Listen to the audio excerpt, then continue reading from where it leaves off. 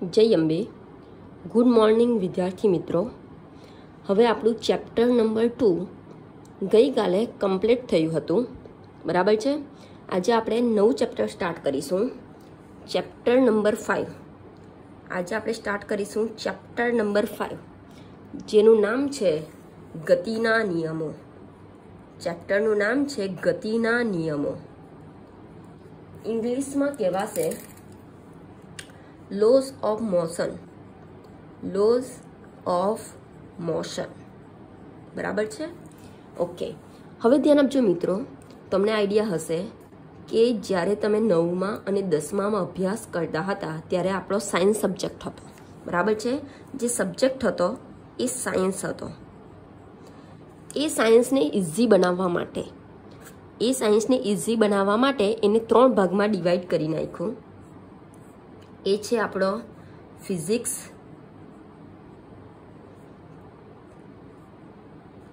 Chemistry.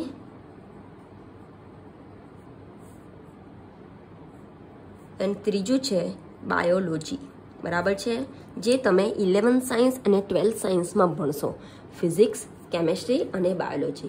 હવે જેવી રીતે સાયન્સને ઇઝી બનાવવા માટે ને ત્રણ સબ્જેક્ટમાં ડિવાઈડ કરી નાખ્યું, એવી જ રીતે ફિઝિક્સને પણ ઇઝી બનાવવા માટે કેટલીક બ્રાન્ચમાં વેચી દીધું. અલગ અલગ બ્રાન્ચમાં વેચી દીધું. બરાબર છે?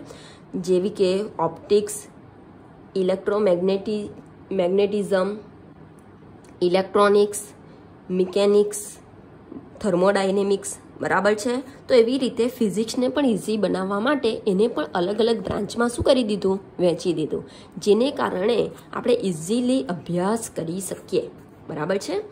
તો ધ્યાન આપજો મિત્રો, આ જે ચેપ્ટર નંબર ફાઇવ છે, એ ચેપ્ટર નંબર ફાઇવ ગતિના નિયમો લોઝ ઓફ મોશન આ એક ક્લાસિકલ ફિઝિક્સનો પાર્ટ છે. આ એક ક્લાસિકલ ફિઝિક્સનો પાર્ટ છે. જેને આ જે ગતિના નિયમો, એ વૈજ્ઞાનિક ન્યૂટન દ્વારા બનાવવામાં આવેલા હતા.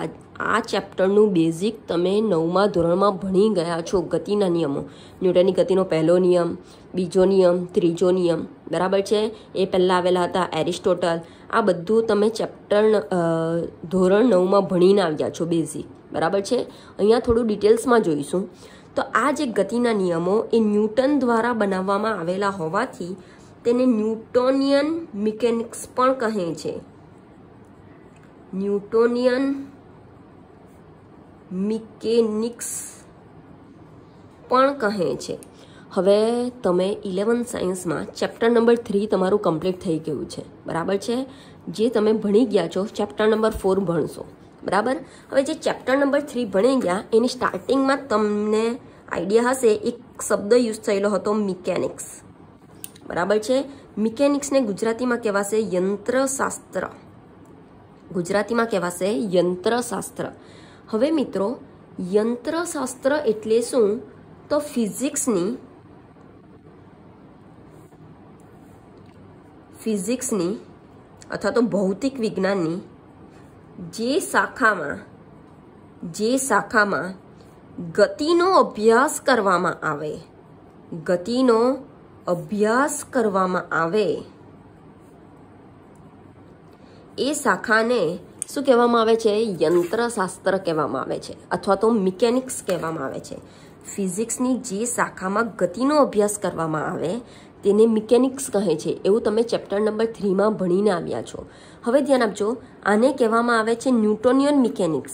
શા માટે? તો ગતિના નિયમો એટલે કે ગતિનો અભ્યાસ કરીશું. પણ આ નિયમો વૈજ્ઞાનિક ન્યૂટન દ્વારા બનાવવામાં આવેલા હોવાથી તેને ન્યૂટોનિયન મિકેનિક્સ કહે છે. બરાબર છે?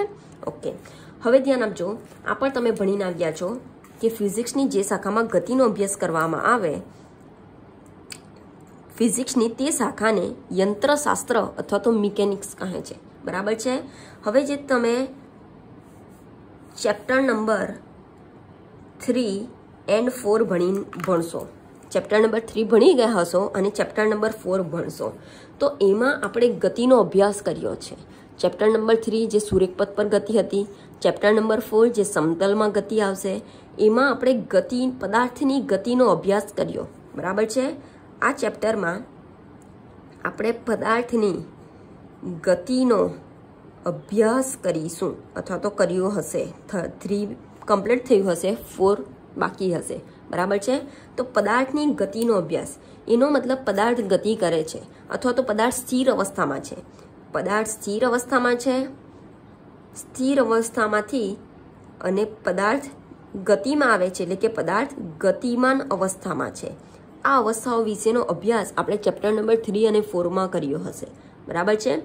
હવે જો પદાર્થ સ્થિર અવસ્થામાંથી ગતિમાન અવસ્થામાં આવે છે, એનો મતલબ પદાર્થ કંઈક ને કંઈક અંતર કાપે છે. પદાર્થના સ્થાનમાં ફેરફાર થાય છે, એટલે કે પદાર્થનું સ્થાનાંતર થાય છે. બરાબર છે? અંતર કાપવાને કારણે પદાર્થ કંઈક ને કંઈક વેગથી ગતિ કરે છે. વેગમાં ફેરફાર થાય તો તેમાં પ્રવેગ ઉદ્ભવશે. બરાબર છે? આ બધી રાશિઓ વિશે તમે ચેપ્ટર નંબર થ્રીમાં અભ્યાસ કર્યો હશે. બરાબર?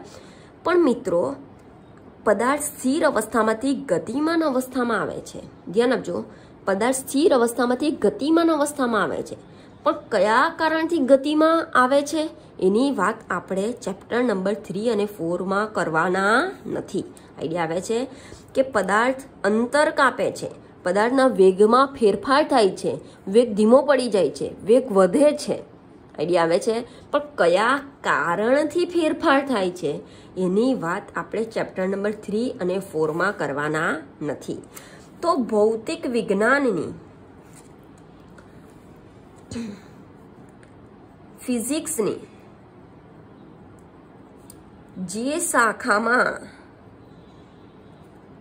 ગતિની ચર્ચા તે માટેના કારણોની ચિંતા, તે માટેના કારણોની ચિંતા કર્યા સિવાય કરવામાં આવે. કર્યા સિવાય કરવામાં આવે. તેને કહેવામાં આવે છે. આવે. તેને કહેવામાં આવે છે કાઇનેમેટિક્સ. શું કહેવાશે મિત્રો? કાઇનેમેટિક્સ. જેને ગુજરાતીમાં કહીશું શુદ્ધ ગતિ વિજ્ઞાન. જેને ગુજરાતીમાં કહીશું શુદ્ધ ગતિ વિજ્ઞાન. અહીંયા સુધી ક્લિયર છે? તો ચેપ્ટર નંબર થ્રી અને ફોર એ તમારા શેના ચેપ્ટર છે કાઇનેમેટિક્સના ચેપ્ટર છે, જે મિકેનિક્સનો એક પ્રકાર છે. ગતિની ચર્ચા તો કરવામાં આવે છે, પણ એ ગતિ માટેના કારણોની ચિંતા આ કાઇનેમેટિક્સમાં કરવામાં આવતી નથી. બરાબર છે? તો ચેપ્ટર નંબર થ્રી અને ફોર, જેમાં પદાર્થની ગતિનો અભ્યાસ કરવામાં આવે છે. ગતિ કરતા પદાર્થના અંતર વિશે માહિતી મેળવી, સ્થાનાંતર, વેગ, પ્રવેગ પણ કયા કારણને કારણે પદાર્થ ગતિ કરે છે તેના વિશેનો અભ્યાસ આપણે આ ચેપ્ટરમાં કરીશું નહીં. માટે આ ચેપ્ટર એ આપણા શેના ચેપ્ટર છે? કાઇનેમેટિક્સના ચેપ્ટર છે. શુદ્ધ ગતિ વિજ્ઞાનના ચેપ્ટર છે. બરાબર છે? ઓકે. ત્યાર પછી મિકેનિક્સની બીજો પ્રકાર પડે છે. ચેપ્ટર નંબર ફાઇવ એન્ડ સિક્સની જો વાત કરું, તો ચેપ્ટર નંબર ફાઇવ અને સિક્સ હવે માની લેમ કે કોઈ પદાર્થ સ્થિર અવસ્થામાં પડેલો છે. માની લેમ કે એક મારી પાસે સમતલ સપાટી પર એમ દળવાળો પદાર્થ છે. બરાબર છે? આ એમ દળવાળો પદાર્થ યુ જેટલા વેગથી ગતિ કરે છે.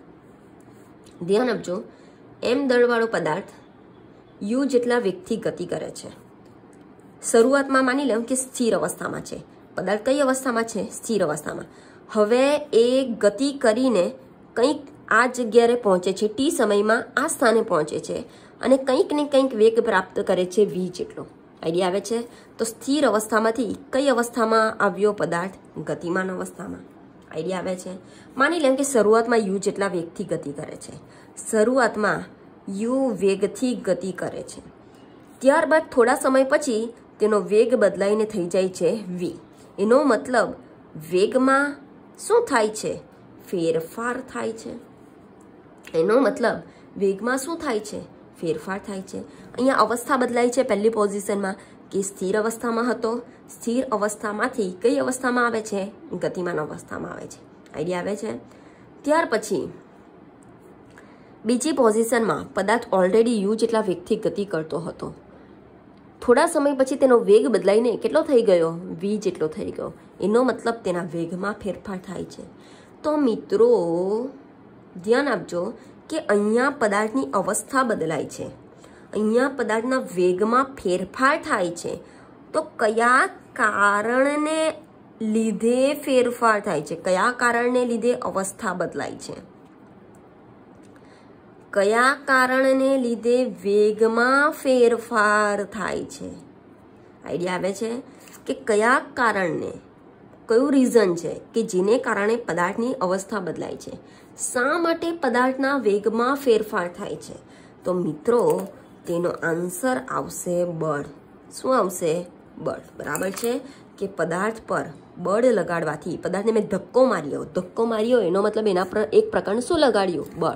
જેને કારણે તે સ્થિર અવસ્થામાંથી કઈ અવસ્થામાં આવી જશે? ગતિમાન અવસ્થામાં. આઈડિયા આવે છે? ઓલરેડી પદાર્થ ગતિ કરતો હતો પાંચ મીટર પ્રતિ સેકન્ડની ઝડપથી, વેગથી. એને ધક્કો મારતા તેના વેગમાં શું થઈ જશે? વધારો થઈ જશે. પાંચની જગ્યાએ દસ મીટર પ્રતિ સેકન્ડના વેગથી ગતિ કરવા લાગે છે. આઈડિયા આવે છે? તો આના માટેનું રીઝન છે પદાર્થની અવસ્થા બદલાવા માટેનું અને પદાર્થના વેગમાં ફેરફાર થવા માટેનું રીઝન છે બળ. કયું રીઝન છે? બળ. આઈડિયા આવે છે? તો આ ચેપ્ટરમાં આપણે રીઝન સહિત ગતિની ચર્ચા તો કરીશું, પણ એક ગતિ કયા કારણથી થાય છે? પદાર્થની અવસ્થા કયા કારણથી બદલાય છે? એના વિશે ડિટેલમાં આપણે આ ચેપ્ટર નંબર ફાઇવમાં અભ્યાસ કરીશું. એનો મતલબ, ચેપ્ટર નંબર ફાઇવમાં ગતિની અવસ્થા બદલાવા માટેનું કારણ છે બળ. વેગમાં ફેરફાર થવા માટેનું કારણ છે બળ. પ્રવેગ ઉદ્ભવવા માટેનું કારણ છે બળ. એનો મતલબ આપણે ચેપ્ટર નંબર ફાઇવ ટોટલી બળ પર આધારિત હશે. બરાબર છે? બળ વિશે ડિટેલમાં અભ્યાસ કરીશું. અહીં આવે છે. તો એના માટે આ જે બ્રાન્ચ હતી કાઇનેમેટિક્સ તો આ કારણ સહિત કરવામાં આવે. તો એ કઈ બ્રાન્ચ છે? તો ધ્યાન આપજો મિત્રો કે ફિઝિક્સની ફિઝિક્સની જે શાખામાં ગતિની ચર્ચા. ફિઝિક્સની જે શાખામાં ગતિની ચર્ચા તે માટેના કારણો તથા ગુણધર્મો સહિત કરવામાં આવે. ફિઝિક્સની જે શાખામાં ગતિની ચર્ચા તે માટેના કારણો તથા ગુણધર્મો સહિત કરવામાં આવે તો ફિઝિક્સની તે શાખાને કહેવામાં આવે છે. ડાયનેમિક્સ શું કહેવાશે? ડાયનેમિક્સ આઈડિયા આવે છે? છે કોઈ પ્રોબ્લેમ ફિઝિક્સની જે શાખામાં ગતિની ચર્ચા તે માટેના કારણો તથા ગુણધર્મો સહિત કરવામાં આવે તો તેને કહેવાશે ડાયનેમિક્સ છે કોઈ પ્રોબ્લેમ આવડશે? શું કહેવાશે મિત્રો? ડાયનેમિક્સ જેને ગતિ વિજ્ઞાન ગુજરાતીમાં પણ કહે છે. છે કોઈ પ્રોબ્લેમ આવડશે? તો જે ચેપ્ટર નંબર થ્રી અને ફોર એમાં ગતિનો અભ્યાસ તો કરવામાં આવે છે, એટલે કે મિકેનિક્સનો જ એક પ્રકાર છે, પણ એમાં ગતિ માટેના કારણોની ચિંતા કરવામાં આવતી નથી. માટે એને કહેવાશે કાઇનેમેટિક્સ અથવા તો શુદ્ધ ગતિ વિજ્ઞાન બરાબર છે? ચેપ્ટર નંબર ફાઇવ અને સિક્સ એમાં પણ પદાર્થની ગતિનો જ અભ્યાસ કરવામાં આવે છે. એનો મતલબ મિકેનિક્સનો જ એક પ્રકાર છે. પણ એ ગતિ માટેના કારણનો પણ અભ્યાસ કરવામાં આવશે. એ ગતિમાંના ગુણધર્મોનો પણ અભ્યાસ કરવામાં આવશે. માટે તેને કહેવામાં આવે છે ડાયનેમિક્સ અથવા તો ગુજરાતીમાં કહેવાશે ગતિ વિજ્ઞાન અહીંયા સુધી ક્લિયર છે? છે કોઈ પ્રોબ્લેમ બરાબર છે? તો આ ચેપ્ટરમાં આપણે ડિટેલ્સમાં બળ વિશે અભ્યાસ કરીશું. કે આ જે બળના નિયમો છે, બળ માટે જે ગતિના નિયમો છે જે ન્યૂટને આપેલા હતા, જે તમે સ્ટાન્ડર્ડ નાઇનમાં પણ અભ્યાસ કરીને આવ્યા છો. ન્યૂટનની ગતિનો પહેલો નિયમ, ન્યૂટનની ગતિનો બીજો નિયમ, ન્યૂટનની ગતિનો ત્રીજો નિયમ. બરાબર છે? તો એના વિશે ડિટેલમાં અભ્યાસ કરીશું. પ્લસ, જુદા જુદા પ્રકારના બળો, વિવિધ પ્રકારના બળો, ઢગલો પ્રકારના બળો છે આપણી પાસે. તો એમાંથી કેટલાક બળોનો ડિટેલ્સમાં અભ્યાસ કરીશું. બરાબર છે? છે કોઈ પ્રોબ્લેમ? ઓકે.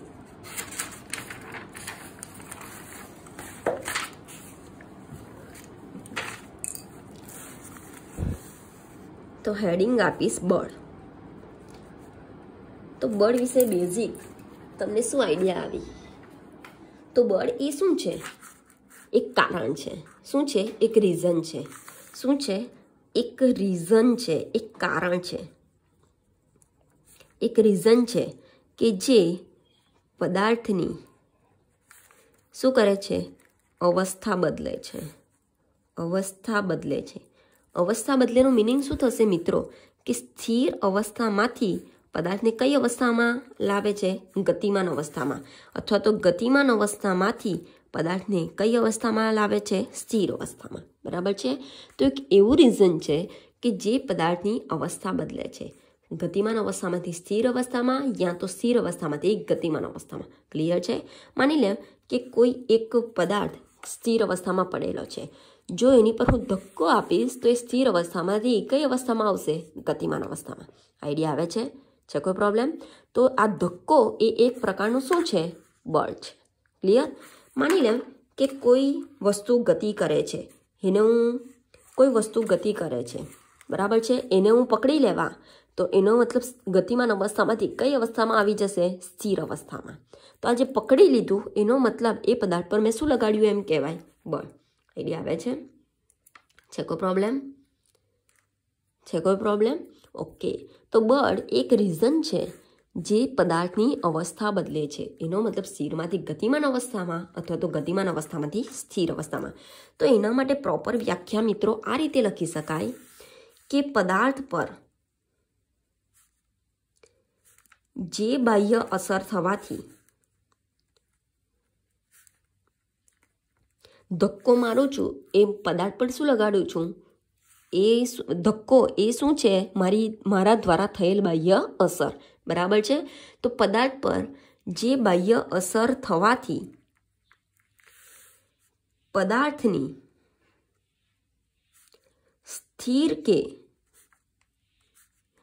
ગતિમાન અવસ્થામાં ફેરફાર થાય છે. પદાર્થની સ્થિર કે ગતિમાન અવસ્થામાં ફેરફાર થાય છે. જેને બળ કહે છે. બરાબર છે? સ્થિર અવસ્થામાંથી ગતિમાન અવસ્થામાં લાવી શકાય.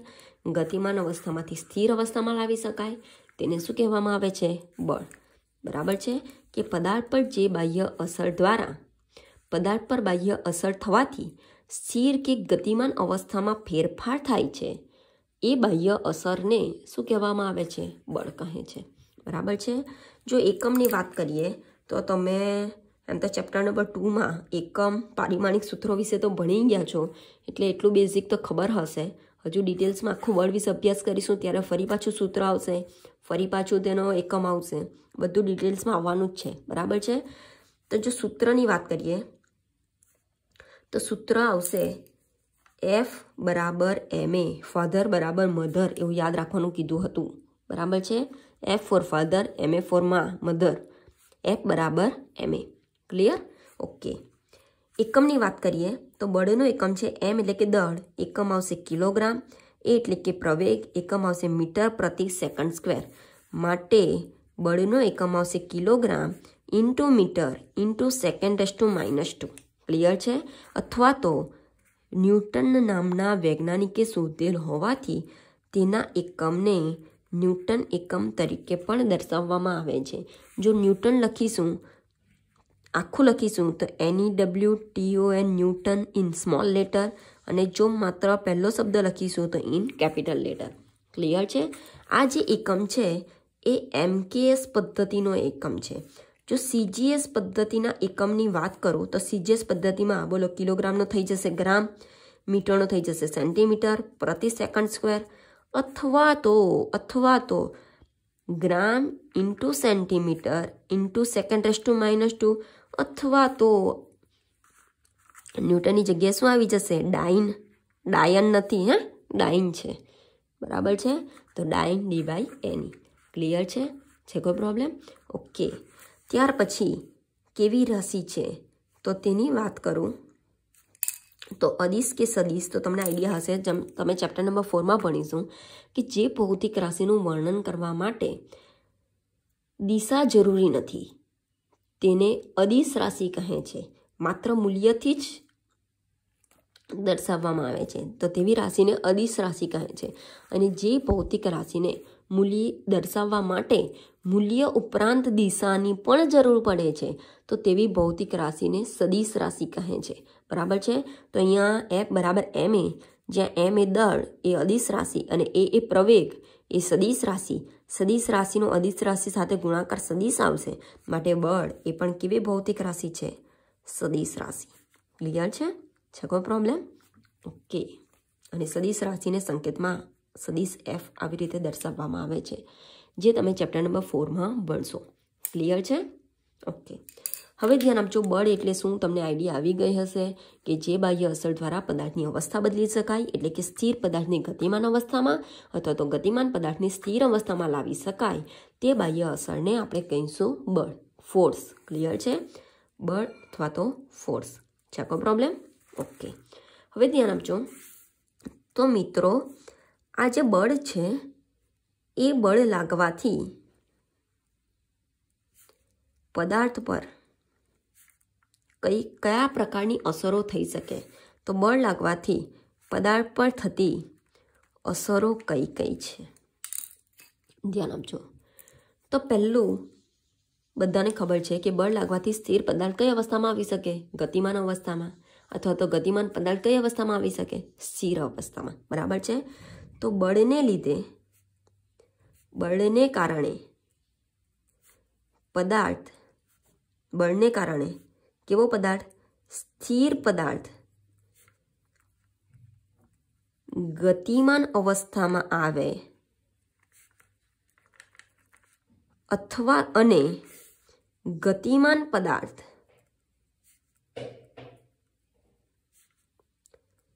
સ્થિર અવસ્થામાં આવે. બરાબર છે? બળ લગાડવાથી સ્થિર પદાર્થને ગતિમાં લાવી શકાય અથવા તો ગતિમાન પદાર્થને અટકાવી શકાય. સ્થિર અવસ્થામાં લાવી શકાય. ક્લિયર છે? ઓકે બીજી થતી અસર છે બળ લગાડવાથી. બળને કારણે પદાર્થની ઝડપમાં ફેરફાર કરી શકાય. પદાર્થની ઝડપમાં ફેરફાર કરી શકાય. એનો મતલબ કે એટલે કે ઝડપમાં ફેરફાર કરી શકાય. એનો મતલબ શું થશે મિત્રો? કે ગતિ ધીમી પાડી શકાય કે ગતિ ઝડપી કરી શકાય. ક્લિયર છે? ઉદાહરણ આપો કે કોઈ એક છોકરો ચાલતો ચાલતો જતો છે. કોઈ એક છોકરો ચાલતો ચાલતો જતો છે. બરાબર છે? પાછળથી એનો ભાઈબંધ આવીને એને પાછળથી ધક્કો મારે છે. તો ચાલવામાંથી એ છોકરો કેવો થઈ જશે? દોડતો થઈ જશે. તો ચાલતો જતો છે, એનો મતલબ એની ગતિ કેવી છે? ધીમી છે. પાછળથી એનો ફ્રેન્ડ આવીને ધક્કો મારે છે, એનો મતલબ પદાર્થ પર શું લગાડે છે? બળ લગાડે છે. એની ગતિ ધીમીમાંથી કેવી થઈ જશે? ઝડપી થઈ જશે. ગતિ ધીમીમાંથી ઝડપી થાય છે, એનો મતલબ ઝડપમાં શું થાય છે?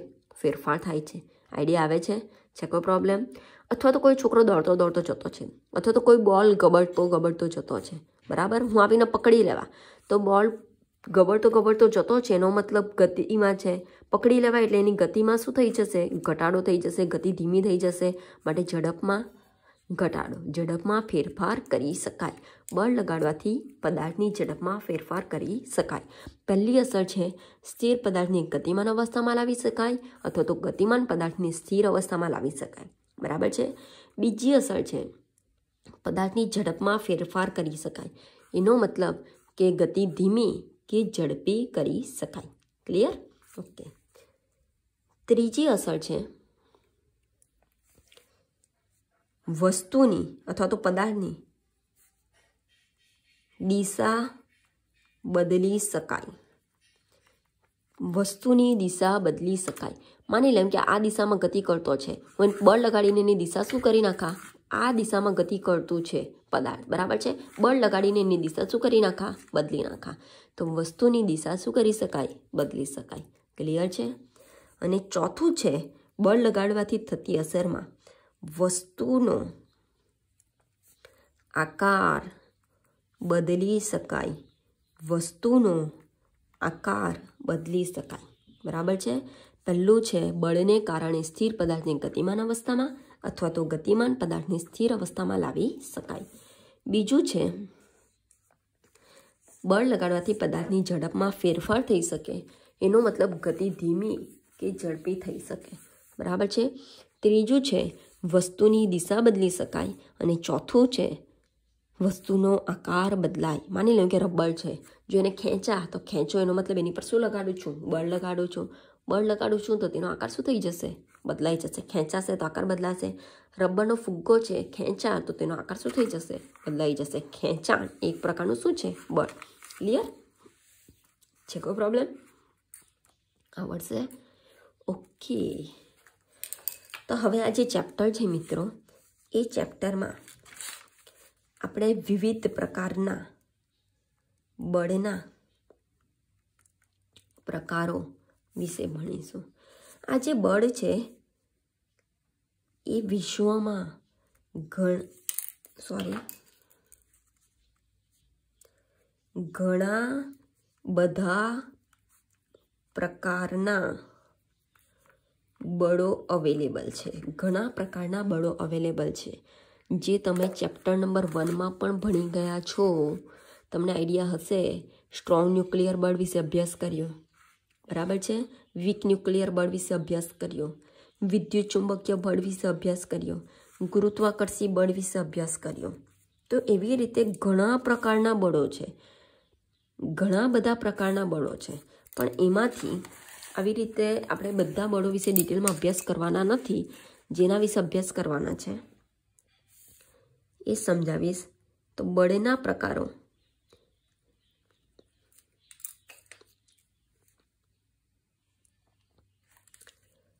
એમાં મેઇન બે છે.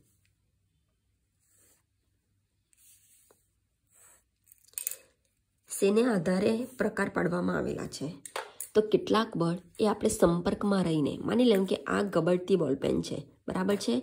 અને જો મારે સ્થિર કરવી હોય તો મારે એની સાથે શું કરવો જરૂરી છે મિત્રો? સંપર્ક. આઈડિયા આવે છે? તો સંપર્કને આધારે અને કેટલાક બળો એવા છે કે સંપર્ક કર્યા સિવાય લાગે છે. તો એને આધારે બળના બે પ્રકાર પાડવામાં આવેલા છે. એક છે સંપર્કને કારણે લાગતું બળ. તો તેને કહીશું આપણે સંપર્ક બળ. શું કહીશું મિત્રો? સંપર્ક બળ. બરાબર છે? બીજું છે સંપર્ક વગર. પદાર્થ સાથે સંપર્ક કર્યા વગર લાગતું બળ. તો તેને કહીશું આપણે ક્ષેત્ર બળ અહીંયા સુધી ક્લિયર છે? છે કોઈ પ્રોબ્લેમ ઓકે? ઓકે. તો સંપર્ક બળ એટલે, તો તમને ખબર પડી ગઈ હશે કે પદાર્થની જો મારે અવસ્થા ચેન્જ કરવી બળ એટલે ખબર છે કે અવસ્થા બદલી શકાય. બરાબર છે? તો સંપર્ક બળ એનો મતલબ પદાર્થ સાથે સંપર્ક કરીને, પદાર્થને પકડીને તેની અવસ્થામાં ફેરફાર કરી શકાય. તો તેવા બળને કહીશું આપણે સંપર્ક બળ. તો વ્યાખ્યા આવશે સંપર્ક બળની કે કોઈ પદાર્થની સ્થિર કે કોઈ પદાર્થની સ્થિર કે ગતિમાન અવસ્થા બદલવા માટે કોઈ પદાર્થની સ્થિર કે ગતિમાન અવસ્થા બદલ બદલવા માટે પદાર્થ સાથે પદાર્થ સાથે. સંપર્કમાં હોવું જરૂરી છે. પદાર્થ સાથે સંપર્કમાં હોવું જરૂરી છે. બરાબર છે?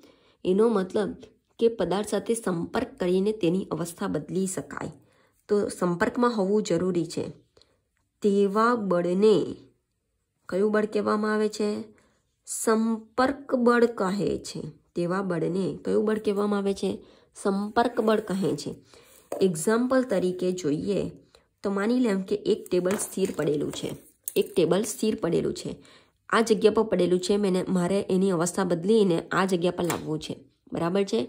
તો એના માટે હું જાદુ તો નહીં કરી શકું કે કેવા ચાલ ટેબલ ખસી જા, તો એવું તો થવાનું નથી. તો એના માટે મારે ટેબલ પર શું લગાડવું પડશે? બળ લગાડવું પડશે.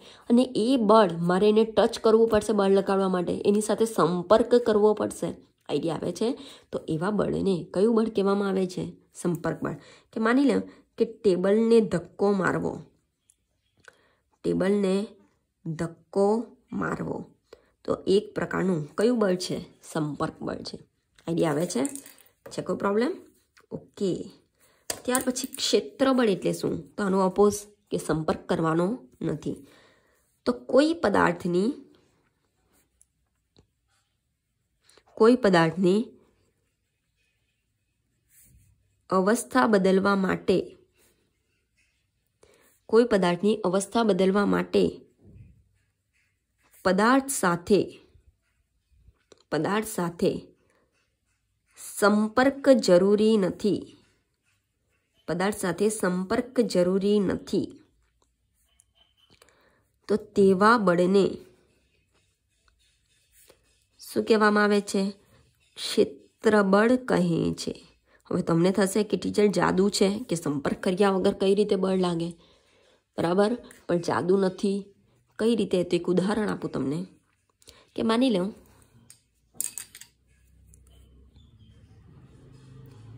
માની લઉં કે મકાનની ટોચ પરથી, મકાનની ટોચ પરથી અથવા તો કોઈ એક હાઈટ પરથી કોઈ એક પદાર્થને પડતો મૂકું છું. પડતો મૂકું છું એનો મતલબ શું કરાવું છું? મુક્ત પતન. બરાબર છે? તો બોલો, મૂકી દીધો. હવે કઈ તરફ જશે?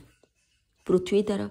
એનો મતલબ પૃથ્વી તરફથી એ પદાર્થ પર કંઈક બળ લાગતું હશે. ટચ કર્યા વગર બળ લાગે છે. સંપર્કમાં રહ્યા વગર બળ લાગે છે. કયું બળ? ગુરુત્વાકર્ષી બળ. તમને આઈડિયા હશે. બરાબર છે? તો એ સંપર્કમાં રહ્યા વગર લાગતું બળ છે. તો એને આપણે કયું બળ કહીશું? ક્ષેત્રબળ બરાબર છે? તો ઉદાહરણ તરીકે આવશે. મકાનની ટોચ પરથી પડતો દડો. ક્લિયર તો કયું બળ છે? ક્ષેત્રબળ બીજું એક એક્ઝામ્પલ આપું.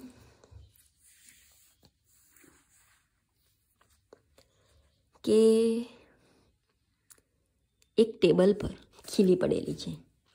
એક ટેબલ પર ખીલી પડેલી છે.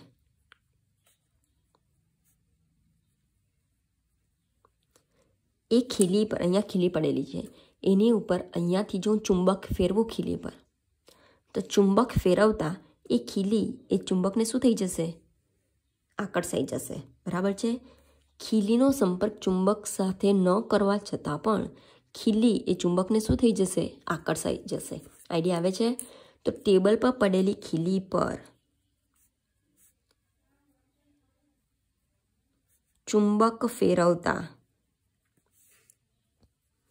ખીલી ચુંબક સાથે શું થશે આકર્ષાશે આકર્ષાઈ જશે એનો મતલબ કે કંઈક ને કંઈક પ્રકારનું શું લાગે છે બળ લાગે છે પણ સંપર્કમાં રહ્યા વગર તો કયું બળ કહીશું ક્ષેત્રબળ ક્લિયર છે? માની લઉં કે મારી પાસે બે ચુંબક છે, ગજિયા ચુંબક. બે ગજિયા ચુંબક છે. ચુંબકના બે ધ્રુવો તમને આઈડિયા હશે. અહીંયા નોર્થ પોલ અહીંયા સાઉથ પોલ અહીંયા નોર્થ પોલ અહીંયા સાઉથ પોલ બરાબર છે? હવે નોર્થ પોલને સાઉથ પોલ તરફ. સંપર્કમાં રહ્યા વગર, જો એકબીજાથી નજીક રાખા, તો એકબીજા તરફ શું થશે? આકર્ષાશે. આઈડિયા આવે છે? તો ચુંબકને કારણે લાગતું બળ, સંપર્કમાં રહ્યા વગર લાગતું બળ, તો એને આપણે કયું બળ કહીશું? ક્ષેત્રબળ. ક્લિયર છે? ઓકે ત્રીજું એક ઉદાહરણ લઈ લઉં કે માની લઉં કે મારી પાસે વિદ્યુત ભારો છે. પ્રોટોન અને ઇલેક્ટ્રોન, ધન વિદ્યુત ભાર અને ઋણ વિદ્યુત ભાર તો એ વિદ્યુત ભારો વચ્ચે લાગતું બળ એના માટે પણ સંપર્ક જરૂરી નથી. તો એ પણ એક પ્રકારનું કયું બળ છે? ક્ષેત્રબળ છે. અહીંયા સુધી ક્લિયર છે? છે કો પ્રોબ્લેમ આવડશે? ઓકે. તો ધ્યાન આપજો છોકરાઓ, ક્ષેત્રબળમાં કયા કયા બળનો સમાવેશ થાય છે? તો એક તો મકાનની ટોચ પરથી પડતો દડો કયા બળને કારણે? ગુરુત્વાકર્ષી બળને કારણે. તો એને કહેવામાં આવે છે ગુરુત્વાકર્ષી બળ. તો ગુરુત્વાકર્ષી બળ એ કયું બળ છે? ક્ષેત્રબળ. Clear okay. ત્યાર પછી ટેબલ પર પડેલ ખીલી પર ચુંબક ફેરવતા ખીલી ચુંબક સાથે આકર્ષાશે. તો ચુંબક દ્વારા લાગતું બળ જેને કહેવામાં આવે છે ચુંબકીય બળ. શું કહેવાશે? ચુંબકીય બળ. ક્લિયર ત્યાર પછી પોઝિટિવ અને નેગેટિવ વિદ્યુત ભારો વચ્ચે લાગતું બળ. વિદ્યુત ભારો વચ્ચે લાગતું બળ જેને કહેવાશે વિદ્યુત બળ શું કહેવાશે? વિદ્યુત બળ ક્લિયર છે? છે કોઈ પ્રોબ્લેમ ઓકે હવે એવી જ રીતે સંપર્ક બળમાં પણ કેટલાક પ્રકારના બળો છે. એમાં છે તણાવ બળ. તણાવ બળ, જેને સંકેતમાં દર્શાવવામાં આવે છે ટી વડે.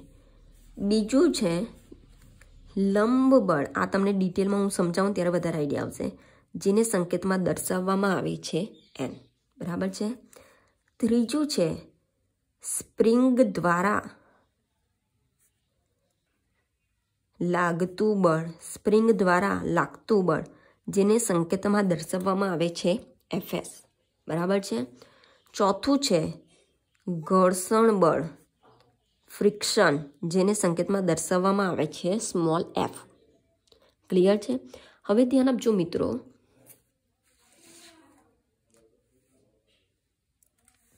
આજે તણાવ બળ, લંબ બળ, સ્પ્રિંગ દ્વારા ઉદ્ભવતું બળ, ઘર્ષણ બળ એ બધા સંપર્ક બળના પ્રકાર છે. સંપર્ક બળ છે એટલે કે પદાર્થ પર બળ લાગવા માટે પદાર્થ સાથે સંપર્ક જરૂરી છે આ દરેકે દરેક બળમાં. જ્યારે ગુરુત્વાકર્ષી બળ, ચુંબકીય બળ અને વિદ્યુત બળ એ ક્ષેત્ર બળના પ્રકાર છે. એનો મતલબ આ પ્રકારના બળો લાગવા માટે પદાર્થ સાથે સંપર્ક જરૂરી નથી. અહીંયા સુધી ક્લિયર છે? છે કોઈ પ્રોબ્લેમ આવડશે? ઓકે. હવે ધ્યાન આપજો મિત્રો. આ ચેપ્ટરની વાત કરું, તો આ ચેપ્ટરમાં આપણે, આ ચેપ્ટરની જો વાત કરું, તો આ ચેપ્ટરમાં આપણે તણાવ બળ વિશે અભ્યાસ કરીશું. ડિટેલમાં લંબળ વિશે અભ્યાસ કરીશું ડિટેલમાં. સ્પ્રિંગ દ્વારા લાગતું બળ વિશે અભ્યાસ કરીશું. ઘર્ષણ બળ વિશે અભ્યાસ કરીશું. બરાબર છે? અને આ બધા સંપર્ક બળો વિશે અભ્યાસ કરીશું. અને એની સાથે સાથે ક્ષેત્ર બળમાં ગુરુત્વાકર્ષી બળ, પણ આ ચેપ્ટરમાં નહીં, આ ઇલેવન્થ સાયન્સમાં જ.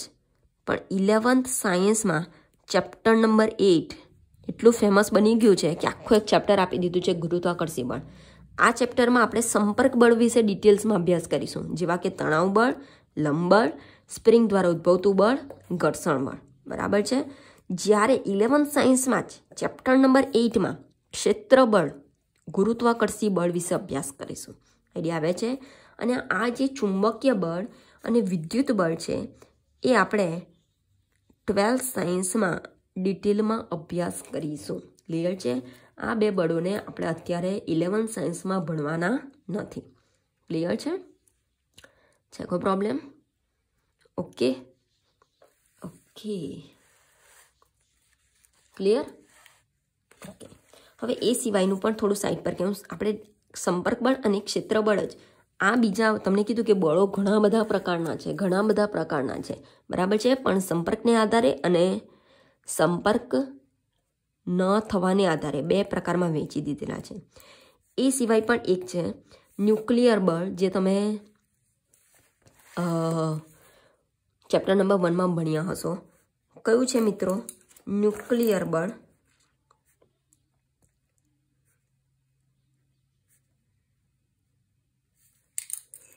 આ ન્યુક્લિયર બળ એ ન્યુક્લિયસમાં લાગતું બળ છે, જે તમને આઈડિયા હશે. જેના વિશે એની ટૂંકનંદ એકમ કસોટીમાં પણ પૂછાઈ હતી. બધાએ રાઈટ લખેલી છે. આઈ ડોન્ટ નો કે બુકમાંથી જોઈને લખી છે કે મોઢે લખી છે. જોઈને લખી હશે તો પણ સ્કૂલ ચાલુ થતાની સાથે મને ખબર પડી જશે.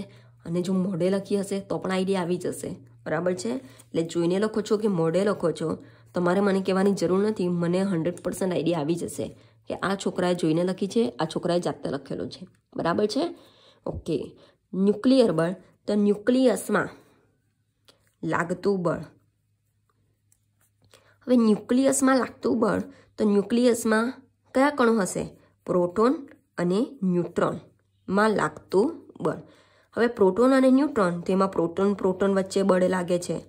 ન્યુટ્રોન ન્યુટ્રોન વચ્ચે આ ન્યુક્લિયર બળ લાગે છે અને પ્રોટોન અને ન્યુટ્રોન વચ્ચે આ બળ લાગે છે. બરાબર છે? હવે ધ્યાન આપજો મિત્રો, અહીંયા પ્રોટોન પ્રોટોન ધન વિદ્યુત ભારિત છે. પ્રોટોન પણ ધન ધન વિદ્યુત ભારિત છે. હવે ધન ધન વચ્ચે તો અપાકર્ષણ થવું જોઈએ. આઈડિયા આવે છે? ધન ધન વચ્ચે તો અપાકર્ષણ થવું જોઈએ. જો બંને પોઝિટિવ તો અપાકર્ષણ થવું જોઈએ. છતાં પણ એવું થતું નથી. છતાં પણ એવું થતું નથી. અને બંને એકબીજા સાથે જોડાઈને, જકડાઈને રહે છે. તો કયા બળને કારણે? ન્યુક્લિયર બળને કારણે.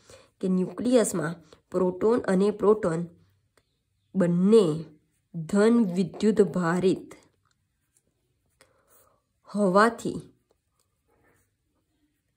અપાકર્ષણ થવું જોઈએ. છતાં પણ બંને જકડાઈને રહે છે, જોડાઈને રહે છે. બિકોઝ ઓફ કયા બળને કારણે? ન્યુક્લિયર બળને કારણે. આ બળ વિશે પણ ડિટેલ્સમાં આપણે ટ્વેલ્થ સાયન્સમાં અભ્યાસ કરીશું. બરાબર છે? આ ન્યુક્લિયર બળ વિશે પણ ડિટેલ્સમાં આપણે ટ્વેલ્થ સાયન્સમાં અભ્યાસ કરીશું. બીજું એક હતું વીક બળ. બરાબર છે? એ વીક બળ વિશે તમે ડિટેલમાં કે બીટાકણોના ઉત્સર્જન દરમિયાન લાગતું બળ, વીક બળ, જો તમને આઈડિયા હોય તો ભણી ગયા હશો ચેપ્ટર નંબર વનમાં.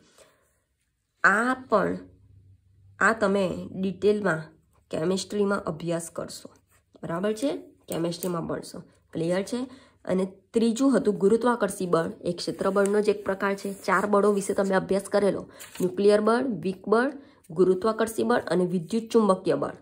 વિદ્યુત અને ચુંબકીય બળ સાથે હતું. તો ન્યુક્લિયર બળ, વીક બળ. આ ન્યુક્લિયર બળ વિશે આપણે ટ્વેલ્થ સાયન્સમાં અભ્યાસ કરીશું. વીક બળ બીટા કણોના ઉત્સર્જન દરમિયાન લાગતું બળ. જેને વીકબળ કહેવામાં આવે છે. બરાબર છે? એ કેમેસ્ટ્રીમાં ભણશો. ગુરુત્વાકર્ષી બળ ઇલેવન સાયન્સમાં ચેપ્ટર નંબર એઇટ અને વિદ્યુત અને ચુંબકીય બળ એ ટ્વેલ્થ સાયન્સમાં તમે અભ્યાસ કરશો. ક્લિયર છે? છે કોઈ પ્રોબ્લેમ? છે કોઈ પ્રોબ્લેમ? આવડશે? ઓકે. તો બળના પ્રકારો વિશે આઈડિયા આવી ગઈ? છે કોઈ પ્રોબ્લેમ? ઓકે.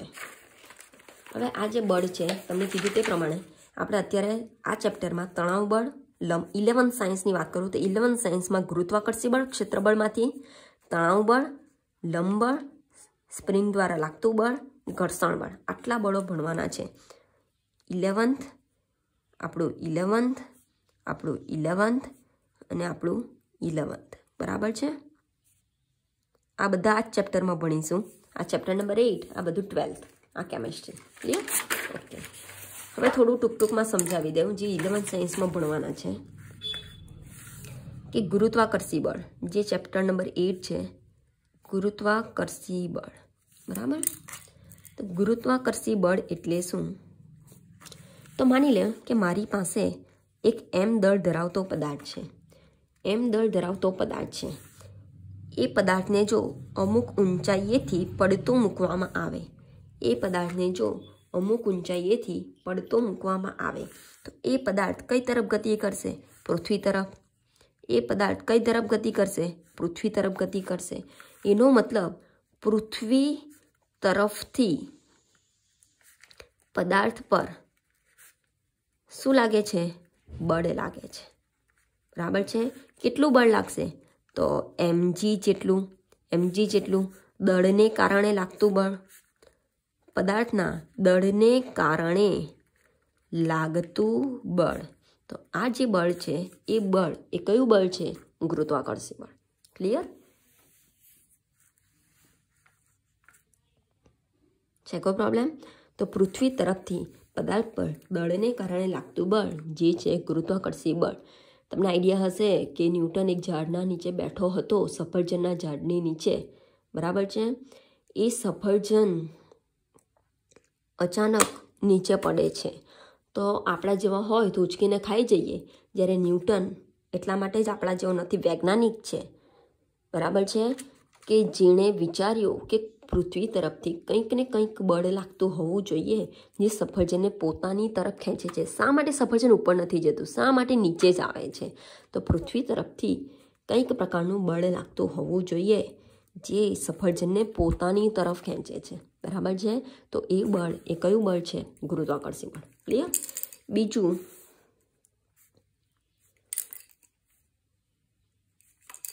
લંબ બળ.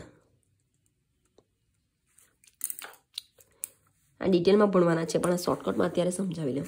માની લઉં કે એક સમક્ષિતિ સમતલ સપાટી પર એક એમ દળવાળો પદાર્થ મૂકેલો છે. એ સમક્ષિતિ સમતલ સપાટી પર એક એમ દળવાળો પદાર્થ મૂકેલો છે. હવે ધ્યાન આપજો મિત્રો, દળને કારણે લાગતું બળ એ કયું બળ છે? ગુરુત્વાકર્ષી બળ. તો આ પદાર્થ પર નીચેની તરફ એમજી જેટલું કયું બળ લાગશે? ગુરુત્વાકર્ષી બળ લાગશે. આ પદાર્થ પર એમજી જેટલું કયું બળ લાગશે? ગુરુત્વાકર્ષી બળ લાગશે. આઈડિયા આવે છે? હવે જો ગુરુત્વાકર્ષી બળ લાગે છે તો પદાર્થ નીચે તરફ આવવો જોઈએ. પણ પદાર્થ સ્થિર અવસ્થામાં પડેલો છે. અહીંયા પદાર્થ કઈ અવસ્થામાં પડેલો છે? સ્થિર અવસ્થામાં પડેલો છે. એનો મતલબ એનું બેલેન્સ કરતું બળ ઉપર તરફથી પણ લાગતું હોવું જોઈએ. આઈડિયા આવે છે? લંબ એટલે પરપેન્ડિક્યુલર તમને આઈડિયા હશે. લંબ એટલે કે પરપેન્ડિક્યુલર નાઇન્ટી ડિગ્રીના એંગલે લાગતું બળ. આઈડિયા આવે છે? હવે જો સ્થિર અવસ્થામાં પડેલા પદાર્થ પર, સમક્ષિતિ સપાટી પર મૂકેલા સ્થિર અવસ્થામાં પડેલા પદાર્થ પર દળને કારણે ગુરુત્વાકર્ષી બળ કમ્પલસરી લાગે છે. હવે એ બળ જો નીચેની તરફ લાગતું હોય, તો બળ પદાર્થ નીચે જતો રહેવો જોઈએ. પણ એવું થતું નથી. એનો મતલબ એને બેલેન્સ કરતું બળ ઉપરની તરફ પણ લાગતું હોવું જોઈએ. આઈડિયા આવે છે? તો એ બળને કહેવામાં આવે છે લંબ બળ, જે એન વડે દર્શાવવામાં આવે છે. શેના વડે દર્શાવવામાં આવે છે? એન વડે. આઈડિયા આવે છે? છે કોઈ પ્રોબ્લેમ આવડશે? ઓકે ડિટેલમાં ભણીશું એટલે વધારે આઈડિયા આવશે. ત્રીજું છે તણાવ બળ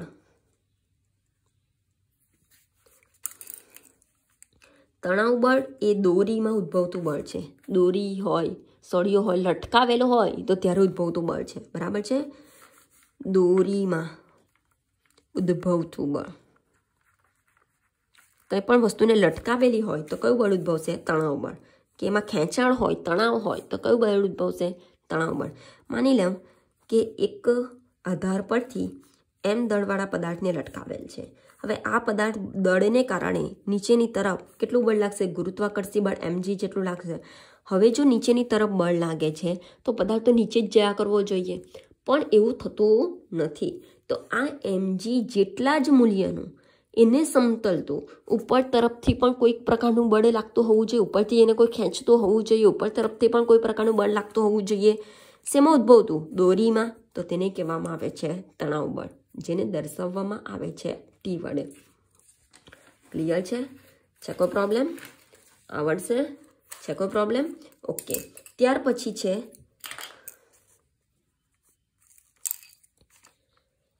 સ્પ્રિંગ દ્વારા ઉદ્ભવતું બળ. સેમ વસ્તુ આવશે. સ્પ્રિંગ દ્વારા ઉદ્ભવતું બળ. જો સ્પ્રિંગ હોય, એની નીચે જો એમ દળવાળો પદાર્થ લટકાવવામાં આવે જો સ્પ્રિંગ હોય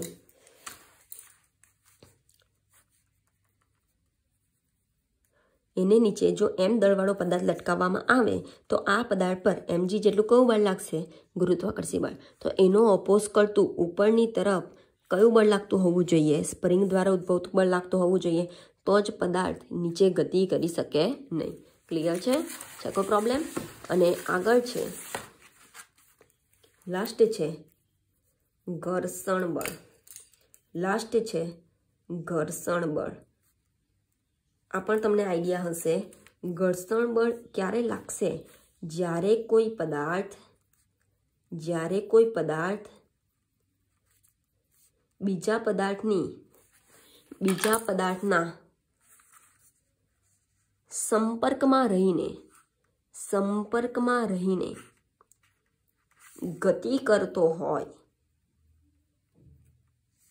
જ્યારે કોઈ પદાર્થ બીજા પદાર્થના સંપર્કમાં રહીને ગતિ કરતો હોય, ત્યારે પદાર્થ સપાટી દ્વારા સપાટી દ્વારા પદાર્થની ગતિને પદાર્થની ગતિને અવરોધતા બળને અવરોધતા બળને કહેવામાં આવે છે. કયું બળ? ઘર્ષણ બળ. બરાબર છે? માની લેવું કે એક દડો સપાટી પર ગબડે છે. હવે એની ઉપર કંઈ પણ પ્રકારનું બળ લાગવા છતાં એ હંમેશા ગબડિયા કરવાનો નથી. બરાબર છે? થોડા સમયમાં શું થઈ જશે? સ્થિર થઈ જશે. હવે સ્થિર થાય છે એનો મતલબ કંઈક ને કંઈક એના ઉપર બળ લાગેલું હોવું જોઈએ, કેમ કે અવસ્થા બદલાઈ, ગતિમાન અવસ્થામાંથી સ્થિર અવસ્થામાં. તો એ બળ ક્યાંથી લાગ્યું હશે? સપાટી દ્વારા લાગ્યું હશે. એ બળ શેના દ્વારા લાગ્યું હશે? સપાટી દ્વારા. અને એને કારણે પદાર્થની ગતિ શું થાય છે? અવરોધાય છે. આઈડિયા આવે છે? તો તેવા બળને કહેવામાં આવે છે ઘર્ષણ બળ. શું કહેવાશે? ઘર્ષણ બળ. અહીંયા સુધી ક્લિયર છે? ચકો પ્રોબ્લેમ? ઓકે. હવે ધ્યાન આપજો મિત્રો, આ જે ચેપ્ટર તમે જોશો ને, તો એ ચેપ્ટર તમને, એ ચેપ્ટરમાં તમને ઢાળ જોવા મળશે, ગરગડી જોવા મળશે, પુલી જોવા મળશે સ્પ્રિંગ જોવા મળશે. આઈડિયા આવે છે? એનો મતલબ કે જૂના જમાનાનું ચેપ્ટર છે.